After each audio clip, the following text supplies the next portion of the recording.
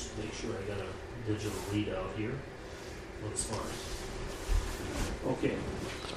Cooperative Legacy Project Interview Number 43, June 29th, 2006. We're visiting with former Grand Electric and West River Cooperative Telephone Manager uh, and South Dakota Co-op Hall of Fame member, Darrell Henderson.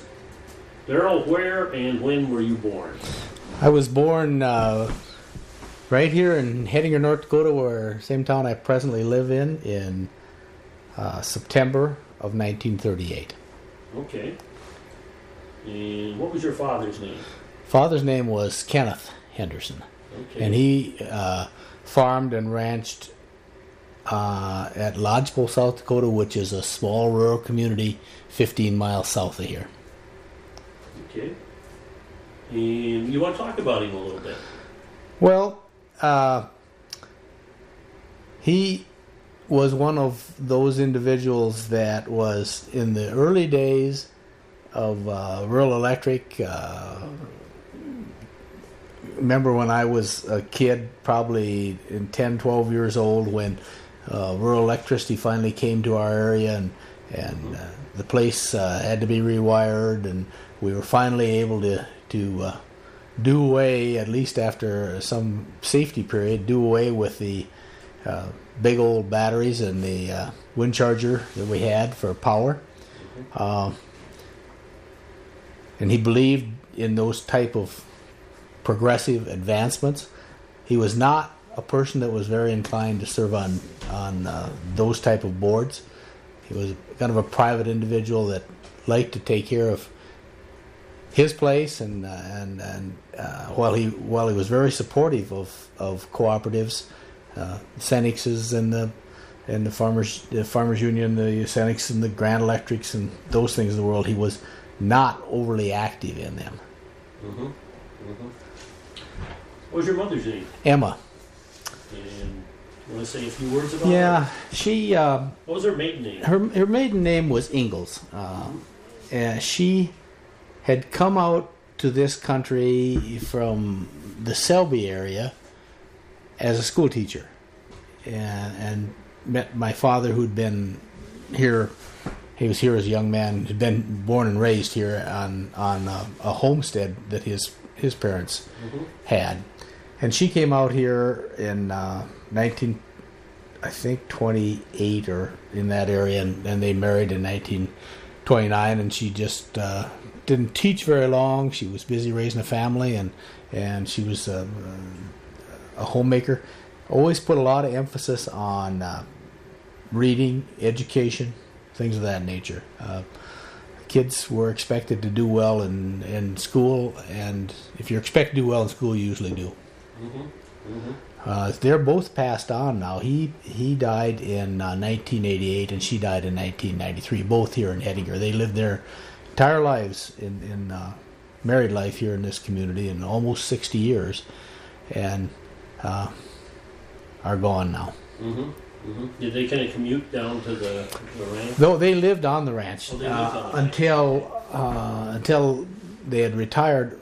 I actually bought the ranch from my dad, the family ranch from my dad in 1973. Prior to that time, I had been working for the Boeing Company on the West Coast, and actually some of the locations at the Boeing Company where I worked were associated with uh, field engineering and were I was assigned air bases and things of that nature. But uh, I bought the place from in '73. They continued to live on it for a number of years after that, and as the, as their health began to fail, then they moved here to Hettinger Mhm. and uh, uh, lived here the remainder of their life.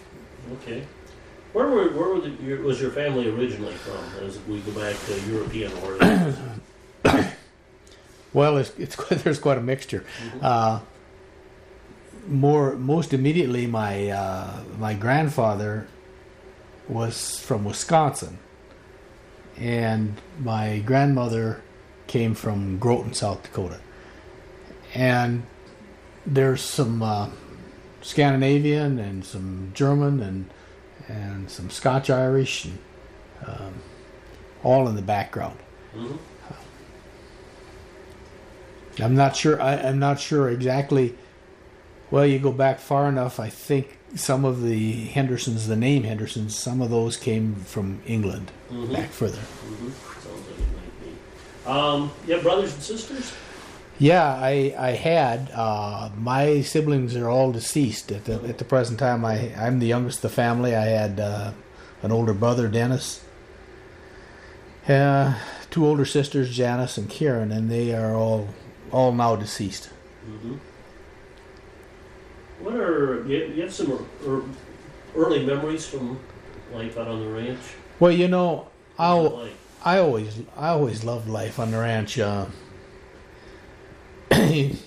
I particularly particularly liked the livestock end of the ranch, and and we didn't farm very much. We were pretty much livestock oriented. Uh, always had horses, and uh, the we used in in the livestock end of it, and I remember when I went to high school. I went to high school here in Hettinger, and I uh, boarded with my grandparents, who at, at that time had moved to town, much like my parents did as they got older. They'd moved to town. I boarded with them, and and uh, because everybody boarded then, it was only 15 miles, but nobody drove back and forth on an everyday basis. and, usually I couldn't wait to uh, be home on Saturday because no matter what time of year it was, there was something that was going on on the ranch that I liked, and and I spent my summers working on the ranch, and spent my weekends working on the ranch, and then after I uh, graduated from college at the South Dakota School of Mines in 1960, we I worked in engineering for 13 years before I came back, and I, the thing that I missed in this part of the country was was the people not so much the country. We lived in some really nice areas like Seattle at times and Mhm. other nice areas, but I did I did miss the uh, Midwestern people. Mm-hmm. Mm-hmm. When you- when you were young, what did you want to do? Did you, you were you were enjoying the ranch out there, but uh, You what know, did you think about doing? Did you think about doing that, or did you think about something else? I I think uh, as I got you know in high school, I probably thought about something in the technical area, and that's why I went to an engineering Mhm. school. You like I. I like the science and math and things of that nature. Mhm. But I can't really say that I ever liked anything better than than ranching. Probably, Mhm. you know, back in the back of my mind, I I always liked the ranch. And when I had an opportunity, and my dad was sixty five to come back, then I was interested in coming back to this country. hmm You talked about your dad's uh, feelings about uh, getting electricity and so on. You remember when electricity arrived on, on the farm? It, was it you, you had you, you mentioned batteries? Did uh, you have electric lights previous to that? Well, for a period of time before that, we had a wind charger tower, and we had a set of the big. Uh, I think they were either 24 or 32 volt batteries in the basement. I can't. I think they were uh, 24 probably. Uh, the big batteries that were probably a foot and a half by three foot long, and uh, and, and you had electricity as long to some degree. DC Mhm. electricity as long as you had wind and the batteries were charged up. Mhm. Uh, you used them pretty sparingly, and you used them primarily only for lights. Mhm. Very little else. Mhm. Uh, you listen to radio? Did you? Oh, yeah. That for radio? sure, you did. You, you always everybody listened to radio, but uh, uh, but in in those in those days it, it wasn't the great you know great conveniences it was not they are now. Mhm. Mhm. So what happened at your place when you got electricity out there and you had more power than uh, those batteries could provide? What uh, sort of things did uh, did you start getting? Well, one of the things that that changed people's way of life was uh, the conveniences it provided within a house. For uh, a- and a lot of times, the the work of the housewife was simplified almost, and you know, you then had electric motors for elevators. Um, and things of that nature, and you had uh, the possibility to have welders and a lot of things uh, like that. Uh, you know, it's an almost endless list of uh, new appliances that came about for household use, Mm-hmm. and you know, you had unlimited amount of power for things like TVs and radios, and Mhm. as they became available. Yeah, and probably seldom did the the person who was having their home wired realize how much wiring they were going to ultimately need. Yeah, you know, I remember when our when our house was first wired, and I, I was, I'm, I'm not sure if it was, uh, I think it was about 1949 when when Grand Electric's that section of Grand Electric was activated. I might be wrong on that year, but it was about then, and I was about 11 years old, and uh, I do remember uh, that crew being there, and it was it was a big event. You know, when we finally were able to turn the switch and and have decent lights in the house and and things of that nature. Uh, something that people were really anxious for and really waiting. And you know, they'd all paid their, I think, five dollar membership fee per person, which it doesn't sound like very much, but at that time, I guess it was it was more uh, in, in terms of that five dollars then meant more to them, of course, obviously, uh, than it Mhm. does to us now Yeah. and uh, they were signing up. hmm The other day, uh, one of the guys I interviewed had a copy of the 1957 Central Exchange catalog, and you could buy a new Cockshutt combine for $5,800. so, top values have changed. I got a note. You not, didn't remember things about your dad at all. Yeah, that's true. Um,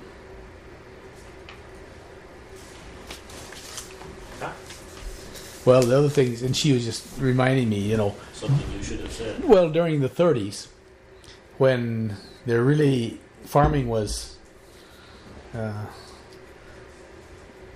pretty pretty bad, and everybody dried out, and they didn't. Uh, he did. He worked uh, on the WPA projects, the CCC projects, or whatever Mhm. you call them, WPA projects. He was foreman of of one of the crews that built one of the local dams and know? and things of that nature that are scattered all over the country to this day. Mhm. And he also ran a coal mine. Coal Um, mine, A coal mine, you know. Lignite? Yeah, there's uh, there are some hills, and there's there's these hills are on our still on our, our family ranch, which my son is on at the present time. Mhm. Uh, and they mine coal uh, for local sale, you know. And I don't know it was, it was the best coal, but it was it was coal. Mhm. Um, he had a tunnel. He had a tunnel mine, and and and then there were also mines during that period of time that were at I guess at the very worst part of the depression, which I don't remember because I was born in '38. There were there were actually free mines Mhm. that he used to uh, tell me about. In fact, he showed me where they were, and they were more or less open mines where they took coal out of a vein right on a hillside, and it was about half coal and half dirt, I think. But people could actually come uh, with their wagons and load their own, and it was a very poor quality coal. But if you know it was available, and I think a lot of people probably took advantage of it because there simply wasn't any money.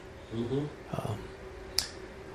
I, I always remember an interesting story my dad told me when they sold the last of their livestock in uh, I assume it was probably around 35 or 6 Mhm. the very the very worst there was nothing to feed them and they'd started selling livestock and they lost you know didn't have any hay didn't have any grass and and they finally he, he told me he said you know we sold the best our best of our livestock at the end saved the best of their livestock and we sold that for the least amount of money. And when he sold the last of the livestock he came back and the story he told me anyway and he had uh, sold and I don't know what it was, how many cows or what he had sold or what, but he had eighty dollars in cash, and it was the money he'd gotten from selling the remainder of his livestock. Had it in his billfold. He decided he should go out and close up the pasture gates and f- where they'd moved the cattle out of, and he went out and closed gates and came back in the house, and his billfold was missing. He lost it. So he retraced his steps and he went out and it, he said it was the only money I had in the world uh, to feed my family. And he didn't have really any job at that point in time. But he went out uh, to one of those gates where he'd gotten out of a vehicle. And there laid his billfold. And uh, He said he didn't. He said I never did know what I was would have done if I'd lost that eighty dollars. It was between me and starvation. Mhm. Mhm. Mhm. There were a lot of grasshoppers around here too, as some people have told me yeah, I think they were. You know, most of that was um, earlier on. was earlier than me, but I remember him talking about how the, the you know the grasshoppers would just kind of almost fly in in clouds Mm-hmm. and uh, devour anything that had any hint of green in it. Yeah. You know, uh, I've seen you know some fairly bad grasshopper infestations, but nothing like that. Nothing, nothing at all like that. They seem to thrive during dry periods. Yeah, they seem to, and there's always when there's not very much vegetation, they just I think they just uh, strip what there is. Mm-hmm. You know, Mm-hmm. How, how long was it before your dad was able to reacquire livestock? well, I think it was only a matter of uh, probably a few years. Mm-hmm. Uh, I think in the in the 40s, uh, the early 40s, uh, and even in the very late 30s, when they began to, to get some moisture again in this Yeah. country, and the country greened up, and uh, grass began to grow again, then most people got back in the livestock business. Mm-hmm. At one time, before the before the uh, he sold out, he had they had he and his father, that family had had run cattle and sheep, and then when they sold everything and reacquired livestock, they just went in the cattle business. They never Mhm. they never were in the sheep again. I. Um, Yeah. uh, so the um, I probably was around the around 1940. Yeah. Was there any wheat production around here in those days? Uh, I know There- my, my dad used to tell about the, uh, also in the 30s when they did get a crop, they had rust. and Yeah. Pretty well wiped it out. You know, and I and I remember in uh, in the I suppose it's probably the late 40s we we had that same. There was some wheat production here in the 40s, uh, and I remember particularly one year when when you mentioned rust, we had uh, a flat of wheat that Mm-hmm. Uh, looked awfully good, and ended up weighing about 45 pounds a bushel. Uh, the rust the rust of that time uh, almost destroyed the wheat crops. Yeah. People come in from the field Yeah, and they were just you just covered red cover the rust. We also had, you know, in in some of the, some of the later years we had rusts on some of the grains. I remember in the uh, probably in the seventies, I I had my teenage son was out cutting grain, cutting oats with this open cab swather that we had at the time, and he came in and he couldn't hardly breathe, and he was uh, we. he stayed out there till his eyes were just about shut, and he was rust from top to bottom, and you know, and I didn't really realize that it was that bad out there because he was cutting, and uh, had to get him. I think we had to get him out of there. Did you when, when you went to school? Did you come straight into, or did was there a country school? We went. I went to country school up through the eighth grade, Okay. and there was there was a country school that was less than a mile from where from. Lodgepole. What was, what was the name of that? it was Lodgepole. Lodgepole School. Lodgepole School. Okay. Yeah, we uh, had a little. Uh, oh, you know, I suppose it varied in size from probably 12 to 18 kids over the years. There was usually around 15 kids in that neighborhood, at least, and there were probably it was you know the same one teacher taught all eight grades or whatever grades there were. There would occasionally be a grade there was nobody in, but usually there were a couple kids in each grade, a couple three kids in each grade, or one or two. Uh, we, when the weather was good, we rode horseback to school, and to the dismay of our parents, we raced our horses after school. Uh, you know, like kids will do, uh, and took our lathered horses home, and they knew exactly what we'd been doing, but we thought we were fooling them, so it was all right. Yeah, they were creamy. Yeah, and there was a, there was a, there was a country creamery uh, called Lodgepole Creamery, uh, about a quarter of a mile from our place. It was between our place and Lodgepole. and our ranch is only about three quarters of a mile from from Lodgepole, and uh, they had a the family that operated that had a son in my age, and he and he and I were kind of uh, the same age and went to school those years together and, until they moved away. And then when the creamery closed, they, they moved to uh, another another town. I think it Tripp, South Dakota, Okay. where there still were creameries. Mm-hmm. Mm-hmm. Uh, then high school here in Hettinger. Right. I, I started high school here. Well, I graduated in '56, so I guess I would have started in uh, in the fall of '52. Like I said before, I boarded in town uh, at my grandparents, and uh, went home on weekends. Mm-hmm. Get any? Uh, you, you remember any blizzards and so on that came, would come through this country? Uh, Oh yeah, you know, it it seems like then our and we haven't had much for winters recently, but it seemed like every winter then you had uh, some severe blizzards. I, I remember in grade school. Well, when your brother came home. from Yeah. Well, in, yeah, that was in 1950, I think, in the winter of 50. When he, my brother, my older brother, was in the service. When he came home, and and I think he he, he had been in boot camp, and he had a furlough over Christmas. Um, he had to walk in the last half mile from the main highway. The roads weren't even open. Uh, the we had had a blizzard, and a huge amount of big drifts. I walked out the highway and anxious to see him, and and walked in with him and drug one of his bags across the snowbanks, and and he carried the other one. We uh, that year we went to school a lot of the year in bobsled, in about with a team of horses in bobsled, and that's one of the things I re- oh, remember about those winters is uh, how hard uh, people worked to feed a relatively small herd of cattle, for example. Yeah, Uh, you know, they uh, they dug hay out of stacks with pitchforks, hauled it on bobsled hay racks, and uh, it was an all-day job to haul a couple loads of hay to cattle, and a lot of back-breaking labor. And people didn't have a huge number of cattle; they simply didn't have the uh, the machinery to take care of them. I don't think. Uh, you know now. Uh, loaders are so good, and everybody puts up um, lots of hay with round balers and things of this nature. Everything's mechanized. mhm. Ranches, and that's one of the reasons that ranches, besides the economic reason, that's one of the reasons ranchers have gotten bigger. They have the equipment to be bigger. Sure. Uh, economically, they have to be bigger to survive. It seems like you know. There's there's nobody anymore that milks uh, a cow and has chickens and two or three hogs Yeah. that I know of. No, no, no. It's a, it's an entirely different era. if it's if it's happening, it's not happening in South Dakota. No, it's it's happening someplace else in the world. Yeah. Um.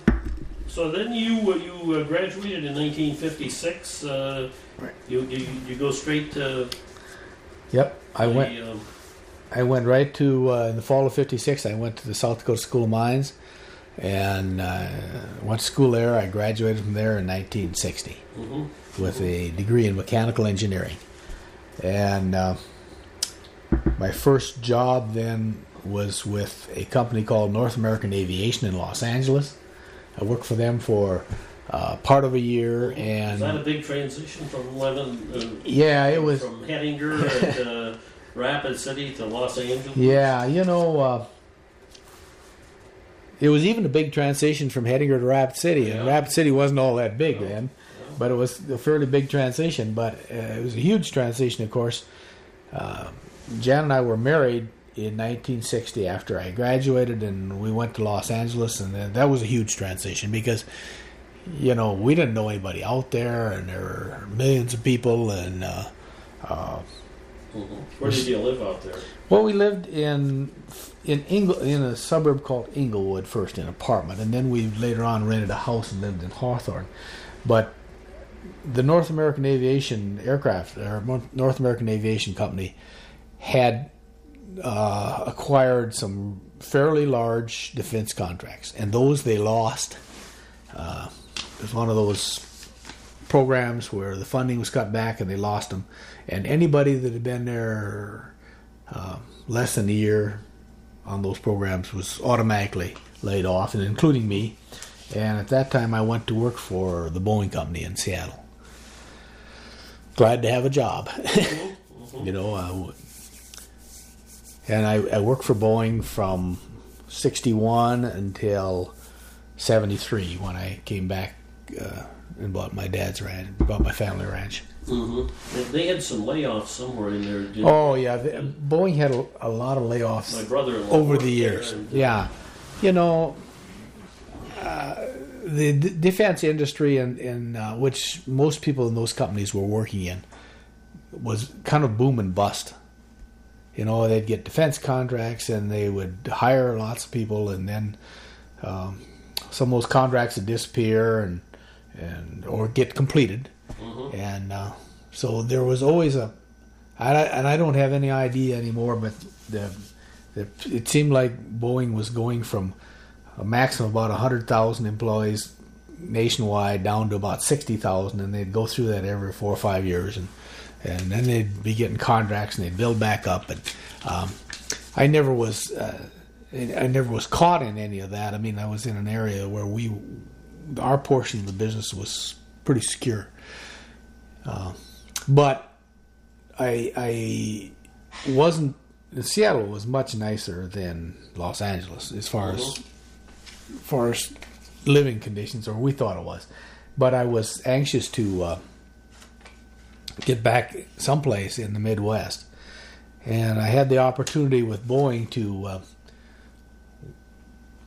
do some work in what they called their f- field service engineering, and that actually were we were support people to the Air Force at Air Force bases.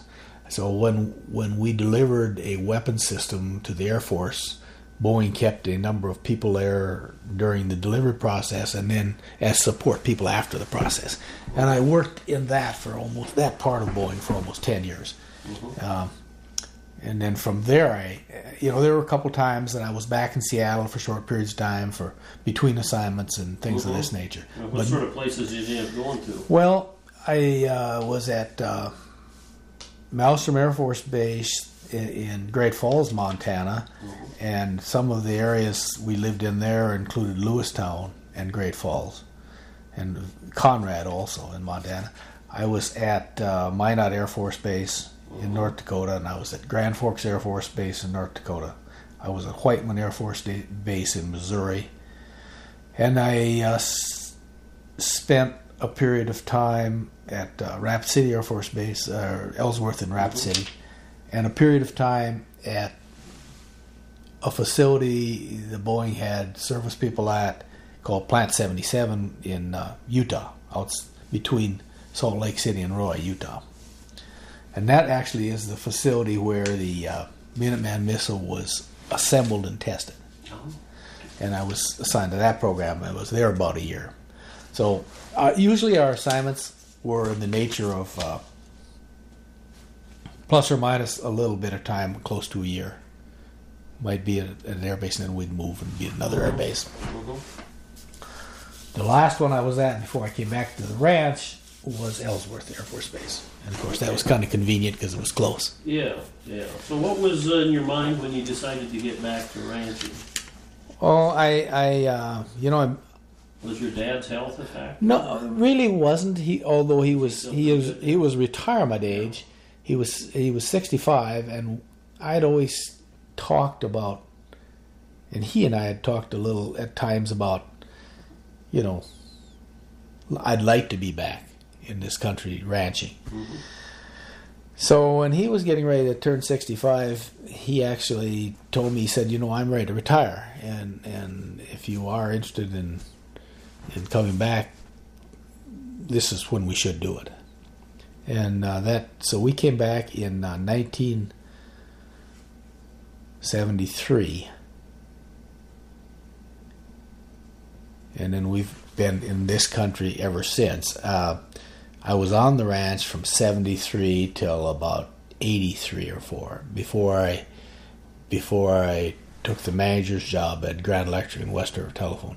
Mm-hmm. And uh, then, of course, I was there at Bison until uh, 2001 in that same job. And in 2001, I retired Mm-hmm. and moved back up here. Yeah, yeah.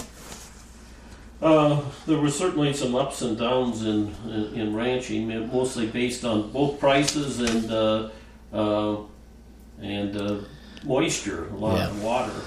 We, you know, there were some, uh, yeah, there really were. There were some, Did you ever have to get rid of your foundation herd, or are you always able? to- you know, I was always able to hold on to the foundation, uh, uh, hold on to the foundation herd, although uh, there were times when I reduced the number of cattle significantly.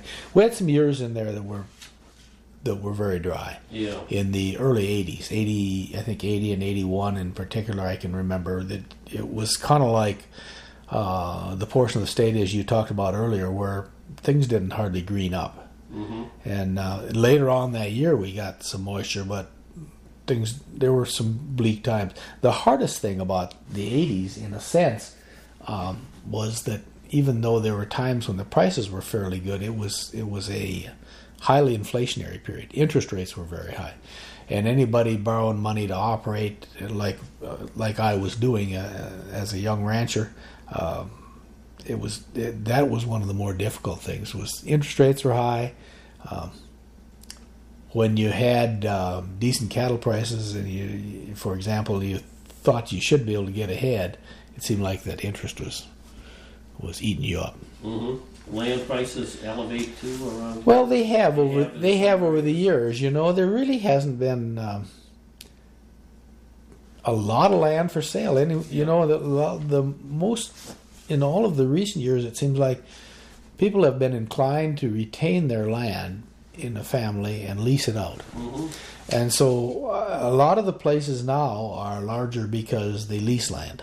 I mean, there there are instances where they bought some land, Yeah. but but uh, there's there probably is a lot more leasing, uh, and and frequently.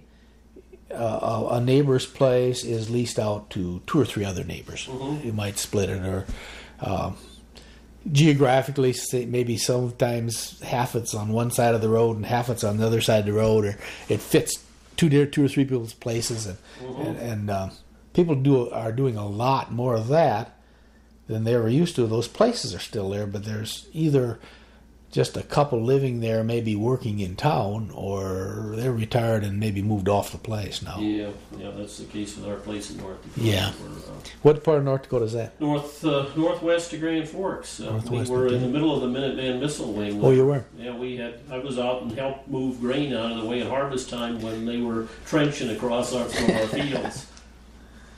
Uh, you were elected to the Grand Electric Board in 1974. Yeah, when I came back here, I uh, my father-in-law uh, asked me, you know, if I would be interested in serving, and I uh, on the grand board, and I, I, you know, he said there's probably not much chance that you would get elected uh, because you're running against an incumbent, and I thought, well, you know, it wasn't something I had really thought a lot about, frankly, and I was pretty busy at that point in time, uh, trying to get the to get everything done on the ranch. But I had agreed to run, and it turned out that I won that election. Uh, and then I served on that board for a number of years. i and it was that was my uh, the first time I met John Reedy. Mhm. Uh, and John was president of that board, and he was uh, he was a pretty strong influence. Uh, I I know on my feelings towards cooperatives, and I think on a, probably a lot of the other board members as well.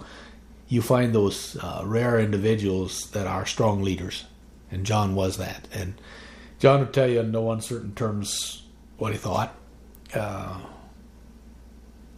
which and, and he always thought almost first about the co-ops, Mm-hmm. and that was his that was his. Uh, I, I I think more. He had a fairly large family, and I think most of the time these boys did the farming and the ranching. And uh, I'm- not that John didn't work on the farm and ranch, but he put a lot of energy into the local co-ops.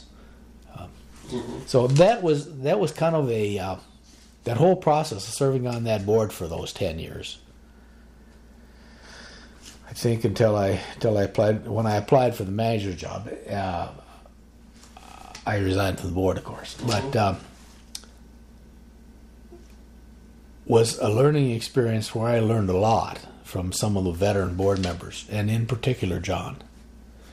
He said John set a high standard for what he thought co-ops should be for their members, Mhm. and and I think if nothing else, you know, by osmosis, you pick up a lot of that stuff. He had also served briefly, at least in the Yeah, legislature. and he'd served in the legislature. Uh, in, involved in the territorial legislation, Right. wasn't he? Yeah, and and the the first the first uh, Co-op Hall of Fame annual banquet I went to was the year that John got elected. And I, you know, I don't really remember what year it was without going back and, and looking at the South Dakota Co-op Hall of Fame uh, website. It's on there, uh, but it probably was around uh, the late seventies or nineteen eighties in in that area. Mid '80s, I would think. Maybe it was mid, maybe it was mid First one eighties. was in '85. Okay. We yeah. just barely got Emil Loriks that year. Yeah. He died in the fall after being inducted. and uh, you know, in, in a lot of ways, I, I always I felt in in my co-op philosophy, which I- I think I developed a lot from the mentoring of John Reedy. Mm-hmm. Um.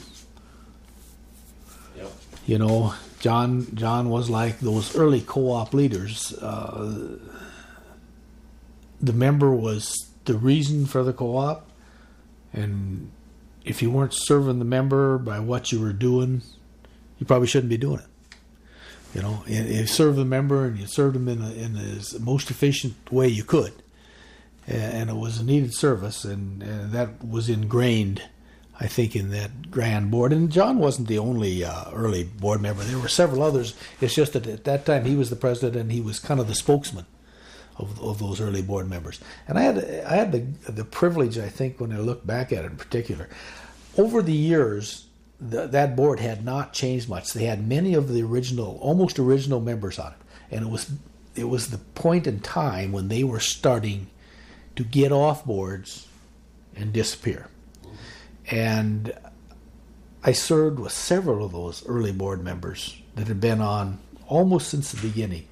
Uh, it was it was really uh, when you look back at it, it was really kind of a uh, an opportunity that you didn't even realize you had, but to pick up a lot of that early philosophy on. And then as it went along, you know, the transition was was very gradual. Uh, maybe a board member, and maybe a couple years from now, another board member. And they were that age, and over the years, they there were always the years I was on the board, and if, and even the years then that I managed, there was almost always a nucleus of experienced board members that set the standard for the new board members.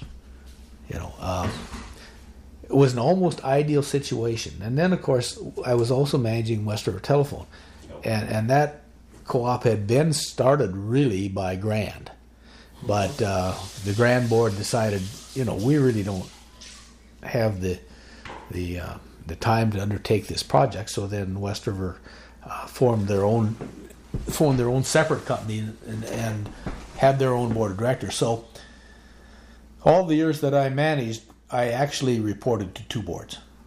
We we operated the two companies jointly. We used the same office help, uh, the same facilities. We had separate outside people because it didn't work very well to try to train linemen to be telephone repairman and vice versa. Uh, but but uh, we always had two boards. We had you always knew you had two board meetings every month. You knew you had two budgets, uh, and you just kind of had to switch hats, uh, which kept the job very busy and and and very interesting. You know, there's always uh, and you know, and during the period of time, telephone became much much more demanding than it was in the early days when when the telephone technologies began to change and there was deregulation and a lot of things happened and uh, we were almost on a monthly basis trying to search for for what we should do in the telephone industry. Well, in that period of time, the electric industry was was older and was more stable. Yeah. uh, we always always said uh, we were kind of fortunate because if we had a if we had a major construction project in the summertime of one or the other, we kind of tried to stagger them. If we had a major telephone construction rebuild going on one summer, we tried to slide uh, the major electric that we were going to do next to the next summer. So so we you know it was it was just pretty hard to, to um, keep track of both in that sense if you got construction projects going on in both in the summertime. Get crews out burying cable and putting in telephone equipment, and if you had somebody building substations at the same time, it was, you know, a day by day basis. You were trying to s- switch how you thought about things. So and they were they were you know they were different businesses, each with their own problems, each with their own you know, we had two separate boards. Uh, gave me an opportunity. Those years I managed to uh, meet an awful lot of good board members that served in both cooperatives. Over, uh, we were in we were in six South Dakota counties and one Montana county, so we were geographically we were spread a long ways. We were almost hundred miles each direction, you know. Uh, and then later on, we actually bought some telephone properties when when U.S. West sold. Uh, we bought Lemmon and we bought Newell and uh, Nisland and that area down there on both ends. Projects that joined us on each end of our own project. So, and that made us even more difficult in terms of uh, distances. Yeah, yeah.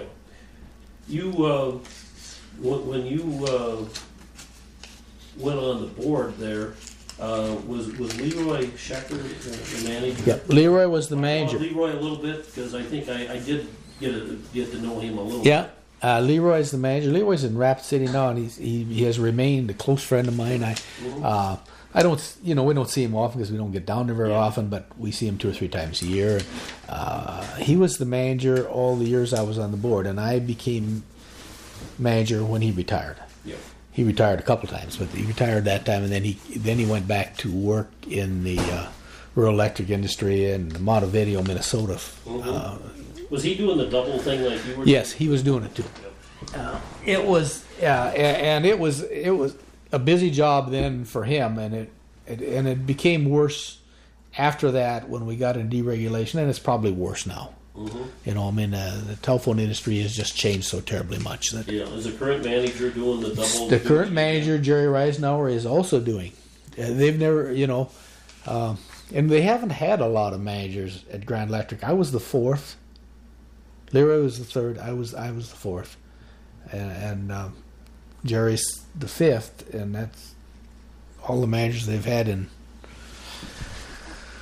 almost well over fifty years. Mhm. Mhm. Um, you were also active in the, the South Dakota network. You want to talk Yeah. about that a little bit? Yeah, you know, during uh, the, that period of time following telephone deregulation, uh, we worked. We were looking at how we could have an organization that would serve our needs as state in more on a more statewide basis, and eventually we built we the companies uh, got together and built a company called South Dakota Network. That company was initially going to provide fiber optics in uh, across, around the state to kind of link everybody together. That was the the initial plan, and that came to pass. But as as we grew with that, we realized with the new technologies, we needed to have that company do a lot more than that.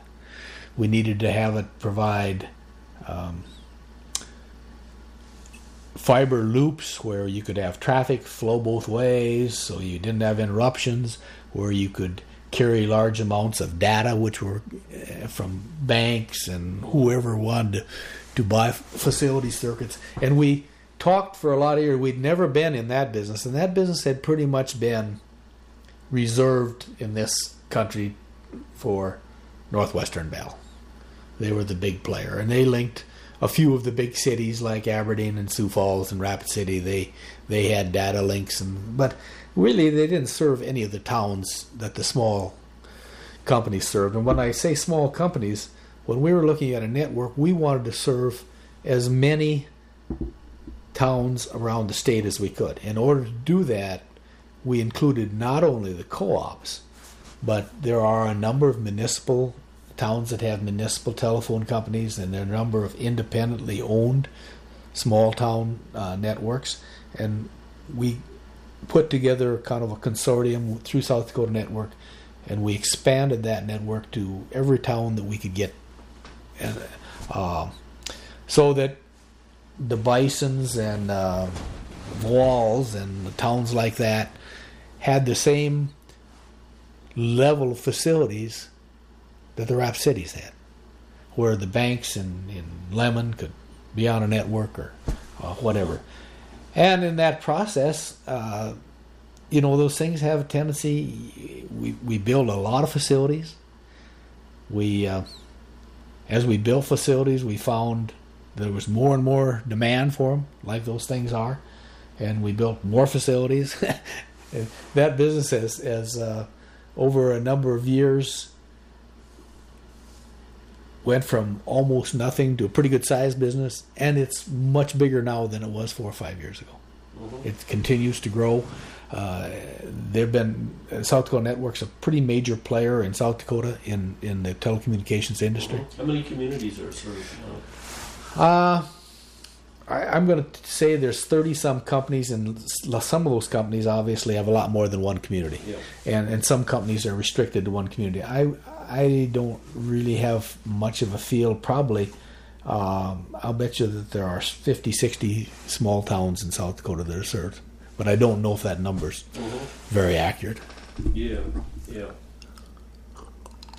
Uh, I know you've you've done your most of your managing or all of it out here. Do you think there's a big difference in managing a cooperative system out west here than there is in the eastern part of the states? Well, you know, Either North or South Dakota. Uh, I think each part has their own problems. We have, as an example, the problems we have in the western part of the state is is the sparsity of of consumers. You know, we have a huge amount of lines to serve and facilities to serve relatively few consumers, and, and which means our investment on a consumer basis is just there's no way not for it not to be higher. However, you know, I don't think we have some of the problems they have. We don't have um, some of the expensive farming areas to to trench across, and mm-hmm. the problems you have building facilities on expensive land. We kind of don't have that. It makes building facilities out here easier. We had to build more of them, but it makes it easier to build them. Um, Are the landowners easier to deal with out here, maybe? Uh, you know, I don't have a lot of experience directly, but mm-hmm. but people tell me they are. Yeah. You know, and they're not as easy to deal with as they were 20 years ago out here either. Yeah. I mean, it's it's it's that's something that is is changing to some degree as as that generation of people that was very very happy to get service disappears mm-hmm. and and they disappear more and more every year mm-hmm. then um, the replacement people what are there take service more for granted and and I'm sure you see that every place in the state and and it's probably typical of from state to state as well mm-hmm. Um, during your time both in uh, on the board and then managing, did did you get involved in any of the uh, uh, efforts to combat attacks, particularly on the rural electric system? Yeah, yeah, we almost you know we annually were involved in in um, the lobbying efforts at, in Washington and the uh, through our our national trade organization, which is NRECA, the National Rural Electric Cooperative Association, uh, you know, they kept us involved, and we had to be involved because there were years uh, that uh, funding was in trouble for on the program. You know, fortunately, we always had um, strong support. I think from our congressmen and senators, or at least, if not always, I generally had very strong support in in these states. They understood how important uh, rural utilities were in this part of the country, and and but they usually wanted us to help them lobby and the National Trade Organization. I did that. I did that usually on the telephone side and the electric side every year. Uh, we we uh, participated in a lot of their so-called grassroots programs of education and stuff like that as well. Mm-hmm. Mm-hmm. So you and then you, retired in. I retired in uh, in 2001 Mm-hmm. in uh, well, I think originally I told the board July one, but but eventually it, it became August one. But I, but I retired in the summer of two thousand one. Um, I'd been there as the manager about eighteen years, and I I just uh, felt that I I wanted to have some time. You know, it was a it was a job where you didn't have a lot of time for yourself Mm-hmm. or your family. And you traveled a lot with two co-ops and with statewide organizations. I traveled more than I'd like, than I enjoy traveling, and uh, uh, I spent more time out of the office than I'd enjoy. And then when you're back in the office, of course, it was busy because you had the two co-ops. And I, I felt there there's a point in time where it's hard to uh, do justice to both those jobs. Um, and I felt it was I was ready. You know, we we talked about when the ideal time to retire, and I I was ready. And once you once you come to the, to the uh, feeling you're ready to retire, then you should be. You shouldn't be working if you're ready to retire because then you're you're not going to do the kind of job you should do. Yeah. It, it you know, it had been you know it it had been a uh, not not always, but it had been for much of those eighteen years it had been a sixty hour a week job, and and you know it's a long time to do it.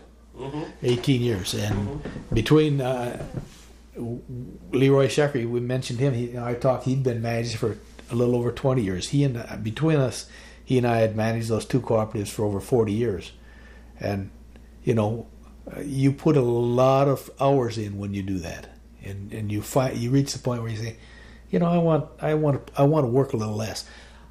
I would.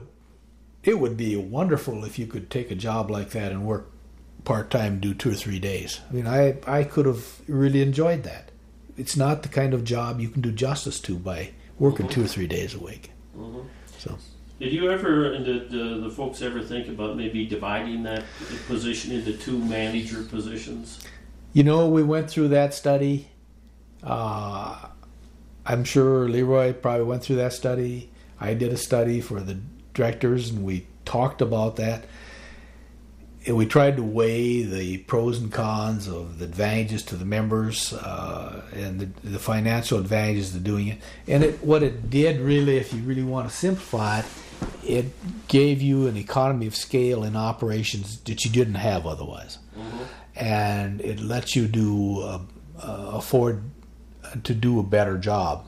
Yep. And so when you when you get down and really crunch it, it always came out to where, you know, this was really it was a unique one. We had people come from other parts of the country because there are only about half a dozen uh, joint operations in the, in the United States None, Yeah. Probably none in South and Dakota. none in South Dakota. Uh, and we had uh, people ask us, you know, that were talked about doing it, and, and, and a case or two came and visited us.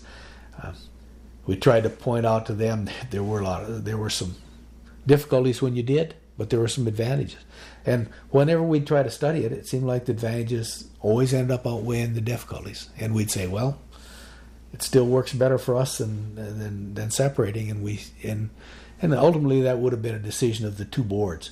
Um, if they, I mean, they would certainly would have had the the right to do it, but you know, the two boards uh, we met on on a not a frequent, but a sometimes a time or two a year with the two boards, and we reviewed joint operations. We reviewed review, reviewed joint operation agreements and and how we were doing things, and and uh, the two boards had pretty good rapport with each other. And and uh, when push came to shove, it was still the thing we wanted to do. hmm So you've uh, you've had what uh, four to five years now of Yep. uh, retirement. What are you doing? Uh, You're ranching down south. Yeah. yet, uh, Well, the ranch is a is a family operation. My son's on it. Uh, Mhm. I'm involved in it. Uh, when it, when it's a busy time of year, I go down and help. yeah. Uh, sometimes the year I don't do much at all on it. Uh,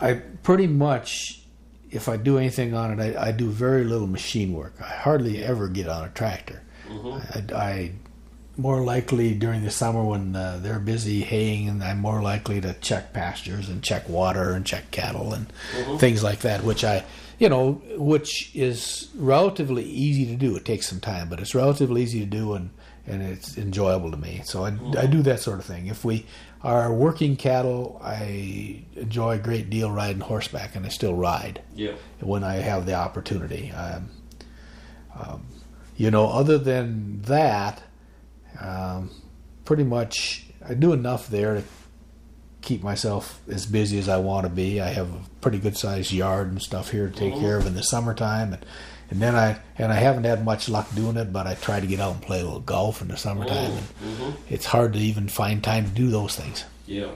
Yeah. Um, have you been? Uh, certainly, if you were doing sixty-hour weeks, it would be kind of hard. But later on, were you active in any of the other community organizations? Well, a, a little bit, but you know, uh, we had our church down there, and I belonged to the Lions Club down there. what I, I, church was that? the Presbyterian church. Presbyterian. Yeah, and uh, to the Lions Club down there and the Commercial Club down there, which Mhm. are more of the civic organizations. Uh, my schedule prohibited me from doing a lot in those things. Yeah. Didn't spend a lot of time with them. People are fairly understanding that. You you uh, and I do that a little bit here in town Mhm. as well. I I uh, have kind of gotten involved in uh, in a couple things here in town. The same way we have a uh, housing authority board that we set up, and I'm on that, and we and uh, we got involved in the, in the 2007 is Hettinger Centennial, and we're going to have an all schools reunion, so I'm getting involved in that Centennial reunion stuff and uh, things of that nature. Yeah, you know, they all take a little time, and uh, and you don't. Uh, it's surprising. yeah, you you seem like it seems like it doesn't take that much to keep you busy. Mm-hmm. Mm-hmm. As you look back, what, how would you assess the uh, the impact of the rural electric program on this part of the world? Well, I think it's probably the most uh, single program that with the largest or greatest impact of any I can think about over the years that happened. I mean, it altered the way of life for people. The rural telephone program offered great conveniences and Mhm. uh, also, but it, it didn't offer quite the the altering of the way of life that electricity did. Even now, there's like rural water programs, and and and they're progressive, and and I'm really supportive of those. But the one that altered life the most was the rural electric program Mm-hmm. In in this country. Yeah. Yeah. And uh, of course, as you say, the, the telephones have had Sure. some impact. But, Certainly have had, and the and and uh, rural water is a great new convenience, and Mhm. uh, you know, all those things. It's just a matter of if you want to be progressive and uh, with those new projects, or do you want to decide you don't need them? You know, and fortunately, most of the people in this country have been really supportive of those things. Mhm. Uh, the challenges facing uh, the cooperative system have changed over the years. What do you think is the biggest change? Well, you know, I, I uh, one of the one of the really large changes now is uh, it's going to be it's going to be increasingly difficult uh, for loan guarantees from the federal government. There's hasn't there haven't been grants for a long time, but there have been loans, and and those certain amount of those loans were guaranteed. And you know, with the present budget constraints, I think all programs like that are under fire. And there's a continuing need to update in- infrastructure. You know, you could put facilities up, they don't last forever.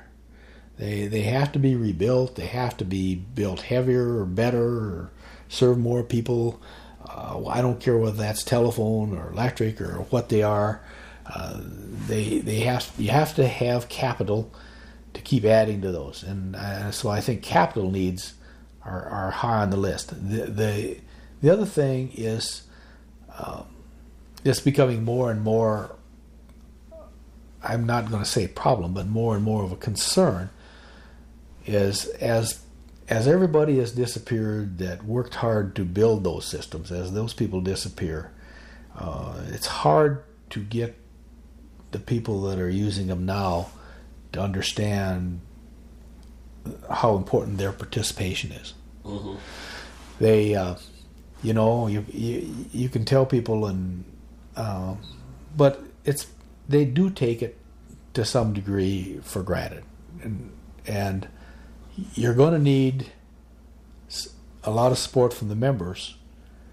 You're going to large capital needs I think those two, particularly those two, technically, you know, it's not rocket science anymore. Technically, we can do all the things in those industries uh, that we need to do, and even even in the complex industry like the telecommunications industry, the technology exists to do wonderful things.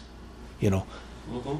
can we bring them to the people in a manner that they can afford them in in this part of the country where there aren't a lot of people. Yeah. That's the problem. Where do we get the capital to do it? Uh, and and um, we're going to have to have a lot of participation, getting good board members, put young people interested in being the board members. That's the boards are going to change. Uh, as the board members get to be a certain age, they're going to want to get off.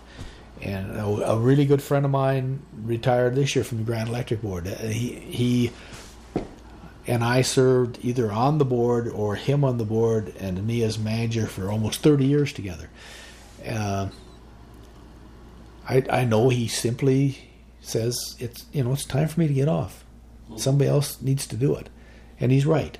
You know, I, I uh, when I was getting ready to retire, he was thinking about getting off the board, and I kept telling him, "I want you, I want you to run one more year, one more term, I don't want him to have because he was the board president. I said I don't want to have a new manager and a new board president at the same time. Mm-hmm. And and so he, he stayed on the board for a couple more terms. Yep. But he told me now he says you know now it's time for me to get off.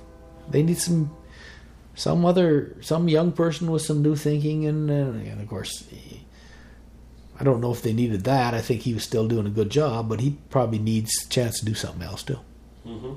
You think cooperative education is important? You were talking about the fact that people you don't understand uh, the importance of what was built before. Yeah, yeah I think it's, I think it's really important, Chuck. Uh, I, I, I think there has never been enough emphasis on it. You know, we don't really have anything in the schools to speak of uh, of of the importance of of the exact question you asked me, the importance of the co-op movements in particularly our part of the country, how how much they have changed living conditions in in this area.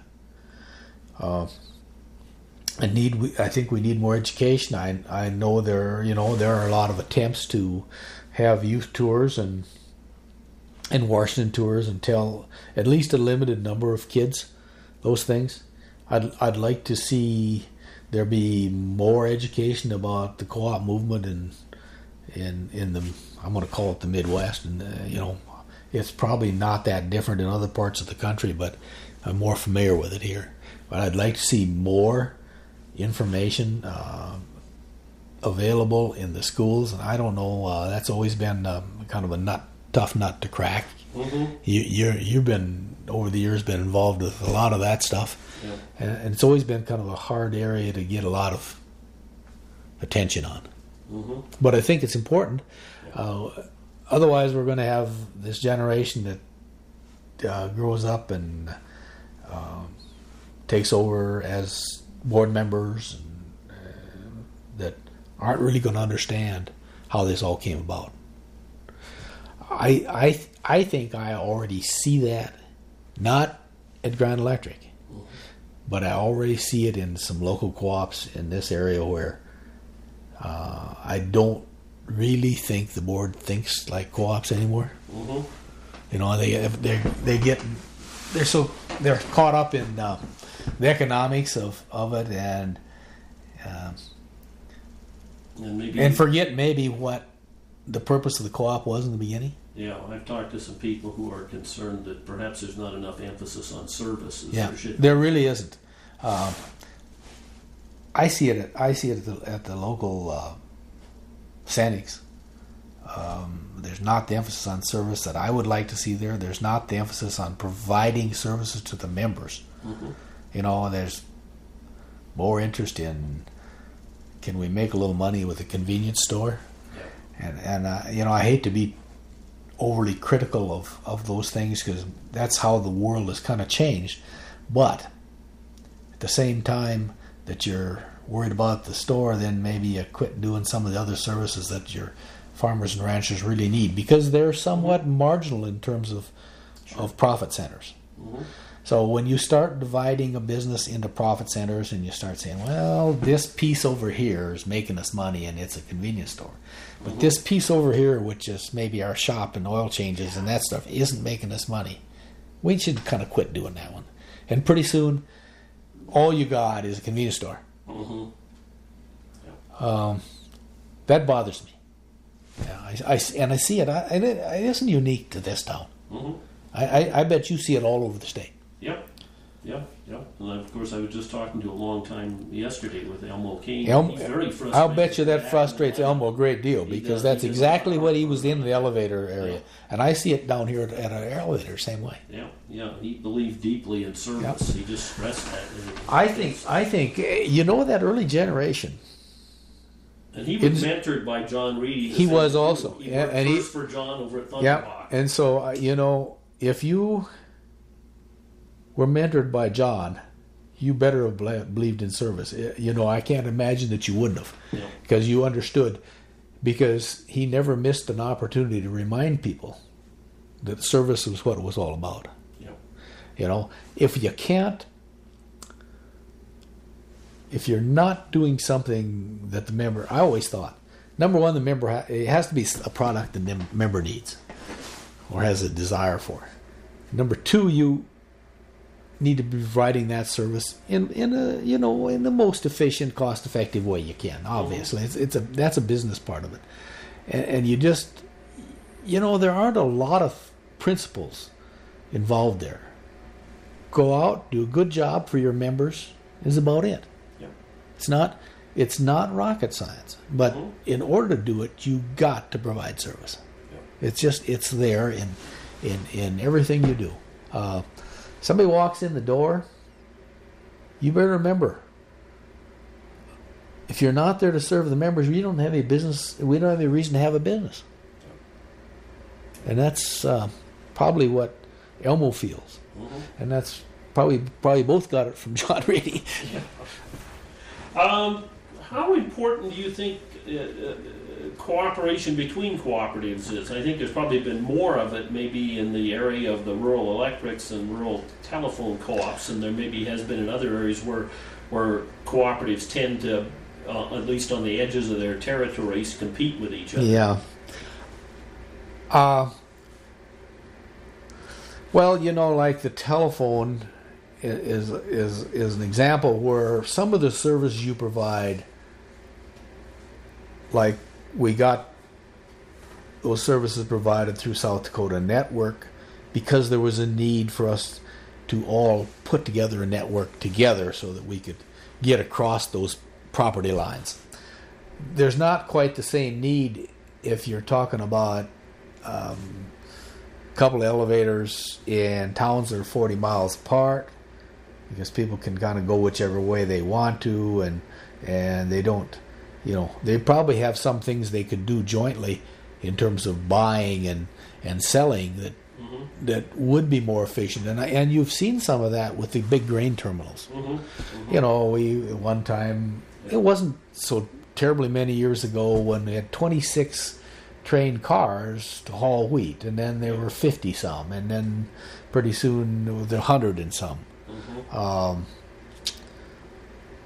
and you know so there's a there's a they've become fewer and fewer of those terminals Yeah. so there and in some of those cases some of those terminals have bought other terminals so there's been some joining of properties Yeah. but not so much that they were cooperating between them and more or less one of them acquiring the other one Mm-hmm. um, the the rural uh, electrics have have a lot of need for joint cooperation in storm repairs and things of this nature. Common, have plenty of that around common, and we had a huge huge storm down here this year. The worst we've traditionally had a lot of storms in western South Dakota, and we got a lot of lines, so there's a lot of exposure.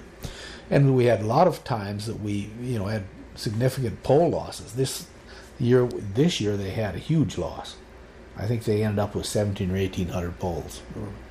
And so they uh, relied a great deal then on trading of crews with other places and other people coming in to help you and things like And there's a pretty good program in South Dakota Rural Electric for that. Pretty You had some crews going down and south we had crews, the hurricane, yeah, too. clear all over the country, you know, and they do that nationwide and statewide, and that's been that's been an excellent uh, program. It helps. It's it's a way to help those that have suffered that damage immediately, and and sometimes you're going to be the one, or somebody else is going to be the one. So there's been more of that in, in the electric, I think, and and that and and and telephone maybe than the other co-ops. And I haven't seen as much as what you see in the in the elevators, and I suppose in the oil companies to some degree is is some joining or some buying out others. Mhm. You know, they operate this uh, local. Cenex is now called Alliance Ag Cooperative, I think, and it's Regent and Hettinger in New England. Mhm. So you see some of that. Mhm. Yeah, there's some also some uh, getting together in the area providing fertilizer. Right. Do more. Do more. You know, and and maybe there are some advantages for their abilities to purchase. Mm-hmm. What sort of advice would you give someone today who uh, was interested in either ranching or going to work for a cooperative or serving on a cooperative board? Any of those things? Well, um, you know, I told my son, who's on the rural water board, which isn't quite the same as the cooperative board, but it's it's a new board with that's putting in new infrastructure. Uh, and he he I, I keep telling him, you know, take the time to serve on the board. It's important that members serve and members understand what's going on. So I guess as far as, as as far as serving on the board, I think the critical thing is it takes some time. It requires some sacrifice by the individual. You're going to go to some meetings when you're tired and wished maybe you didn't need to go to that meeting. But unless you have the people, the young people in particular, I'm talking now, that are willing to do that, you're going to lose. In the end, you're going to lose some of that co-op philosophy. So you need to to retain the co-op philosophy. You need to have young board members serve and understand it. As far as ranching, you know, ranching and farming, I think, and if you're not doing it in a in a family setting where the family setting provides you an opportunity and a little bit of sometimes a little bit of safety net Mhm. it's a it's a it'd be a terribly difficult thing for anybody to get into other than that Mhm. it's just it's so capital intensive Yeah. Just Uh, a huge difference from the early oh, years yeah. when the first folks came out. Yeah. It was the easiest thing to get into then. it was the easiest thing to get but now it you know now i can't quite imagine some young guy saying, "Okay, I want I want a ranch. What do I have to do? Well, I have to go buy myself four or five thousand acres of land. I have to buy myself uh, a line of machinery to hay with and to feed cattle with. I got to buy myself a herd of cattle." And going in and telling the banker that, and having the banker say, "Oh yeah, that's no problem. We just line up. We just line up a couple million dollars worth of financing for you to do it." It, it's a it, it's a difficult, really difficult thing for young farmers to get into.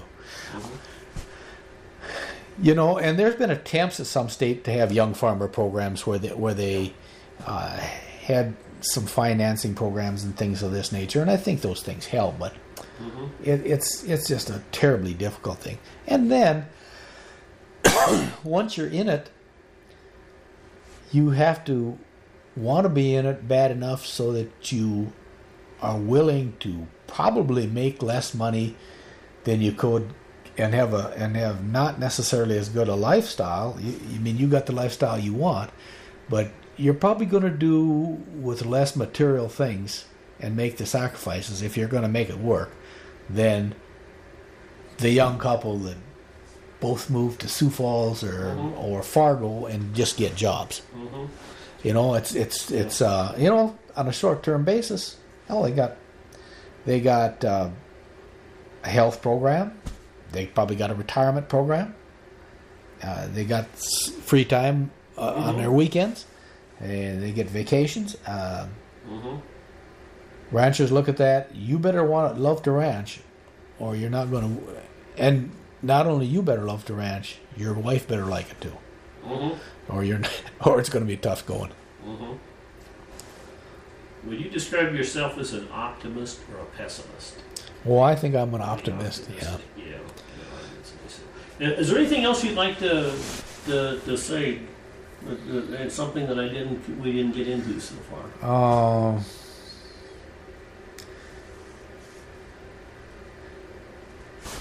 You know, uh, no, not really. You know, I, I was going to mention too. Like, I was, I was really, uh, I was really pleased last year when I was inducted into the South Dakota Hall of Fame. I, it was not a thing that I ever thought about Mhm. in my life. Uh, and and I looked at that and I thought, you know, I was I was really pleased and I and I, I felt like it was a it was an honor. I, I wasn't sure why it was an honor necessarily that I was more eligible for. There's a, there's a lot of people that have worked in the field and spent a lot of energy and a lot of years in it.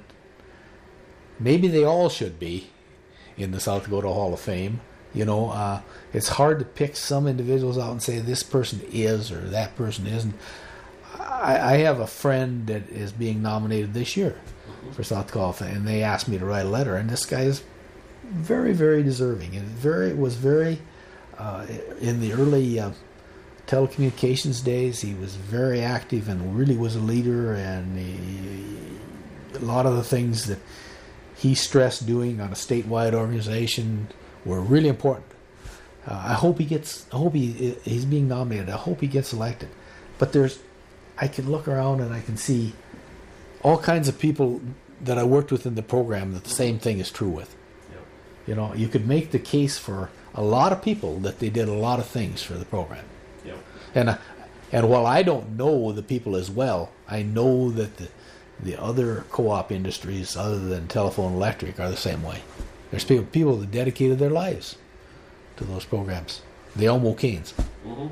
Yeah. Mhm. We've been visiting with Darrell Henderson. Thank you for participating in the Cooperative Legacy Project. Thank you.